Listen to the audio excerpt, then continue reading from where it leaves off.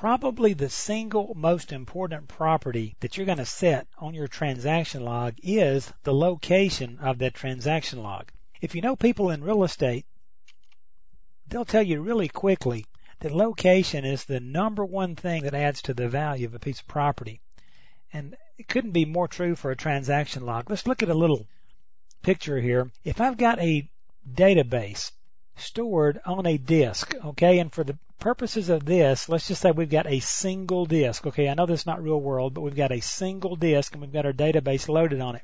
If we have our transaction log on the same disk, guess what's happening? The database, the disk is spinning to make writes into the database and to read and select from the database and update the database and make deletes and so forth.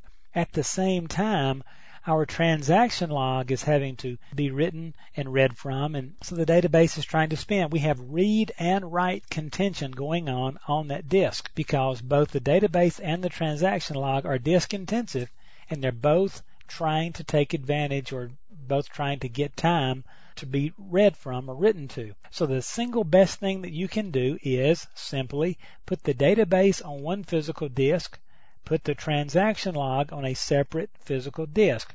Better yet, different spindle. If you're using some sort of RAID environment or a cabinet or array, whatever, then you want to make sure that the transaction log is separated in every way from the database files, the read and write files on that. What kind of difference can this make? Well, in tests, Microsoft has seen up to a 40% increase in efficiency on disk times when the transaction log and the database files are totally separated from one another. Now, in a lot of RAID environments now, uh, this is minimized quite a bit because you have so much data being strapped across so many different disks. Again, just be aware of this and watch it and make sure that these two aren't stepping on each other.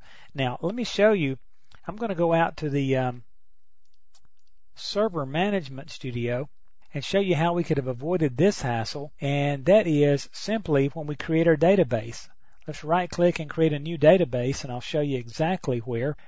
We create a new database called uh, Mark Test, and notice, I'm going to make this wider so we can see it. Notice right out here, we put on here, notice the path of our data files. Okay, so the data files for our database is going to be on the H drive, okay? And it's going to be in the MSSQL, the Microsoft SQL Server MSSQL data, okay, on the H drive. We need to put the transaction log on some other physical location, okay?